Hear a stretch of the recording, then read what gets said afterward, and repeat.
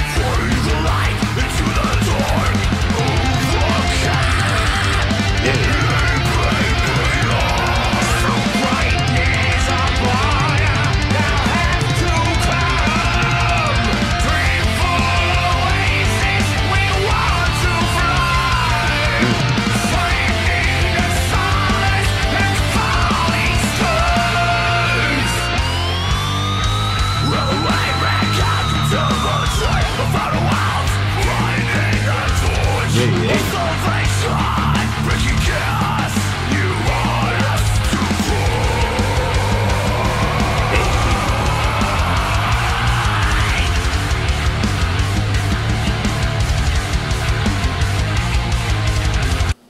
yo, Norrowon right back here on Too LIT Mafia. I don't know why they give me so like they give me this the structure like it, it's like it reminds me of Sabaton or the Trivium flavor and with with a twist with with some Ozzy Osbourne.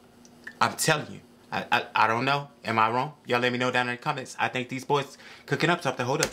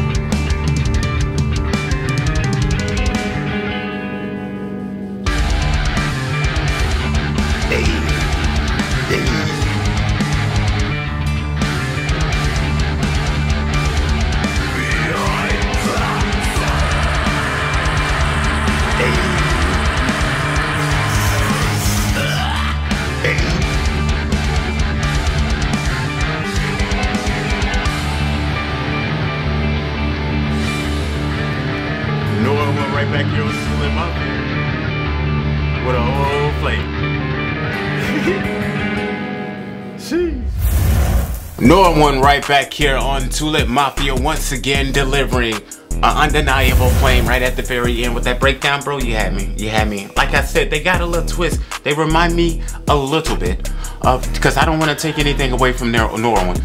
They they remind me a little bit of Trivium Sabaton with a mix of Ozzy Osbourne. to each his own, but that is me. I'm that's just that's just what I got. Y'all definitely came with the flame. Y'all definitely rocked it. Y'all definitely turned it up towards the end. That's why y'all delivered the undeniable flame. But listen here. Keep on bringing this content, baby. I need I need some visuals. Yo, Normal, we need some visuals. We need to be cranked to the max next time y'all come on the channel, man. But I'm just saying that's that's that's my critiques, and I definitely think they brought the undeniable flame. Y'all let me know what y'all think down in the comment section get in the description and go show Norrowon some mad love. Let them know to Too LIT Mafia sent you. Yo, if you're new to the channel, man, do me a huge favor. Hit that subscribe button for me real quick. Rage on the like button for more great quality content. And as always, click that bell to stay notified from when I drop my next video. You know how we get down. We stay real, we stay lit regardless of what anybody thinks. This is the realest growing channel on YouTube. Let's get